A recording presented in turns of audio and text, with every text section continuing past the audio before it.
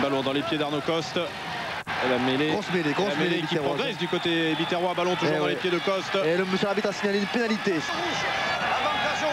Et on continue, on vient de gagner 10 mètres avec Arnaud Coste qui va se relever pour prendre ce ballon.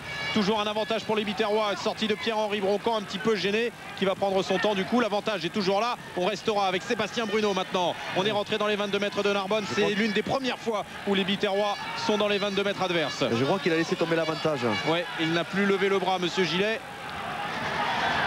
Il y a une bonne organisation du côté biterrois. On continue de progresser. Attention à ces ballons portés. Ils se sont arrêtés une première fois. Et là, il recule.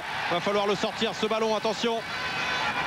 Attention, monsieur Gillet ne devrait pas tarder à dire au Biterrois le sortir. C'est ce que fait ce petit coup de pied de Pierre-Henri Broncan. On se regarde et finalement, ballon qui a pu être récupéré par Pierre-Manuel Garcia. Le coup de pied complètement dévissé du centre narbonnais, mais qui va donner de l'air à son équipe. Le premier sur ce ballon sera Escal, mais ça vient vite avec Candelon.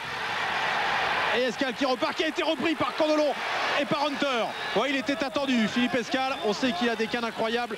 Le co-capitaine Biterrois, le coup de pied par-dessus de Broncan, mais là ce sera un petit peu Directement loin. en touche, non? Non. Ouais, il a mis le pied en touche, Anthony Hill. Ah. Eh oui, il a mis le pied en touche et ce sera un ballon récupéré par les Ah, c'est bien Biterrois. joué On ça. sort bien. Bien joué de la part de Pierre-Henri Broncan qui a remis de de suite la pression sur, euh, sur l'équipe narbonnaise. On a une belle séquence de jeu avec un avantage d'abord euh, biterrois avec euh, un paquet d'avant très, très performant et de relance euh, narbonnaise sur la, sur la perte de balle. Et là on revoit l'action sur la lentille, relance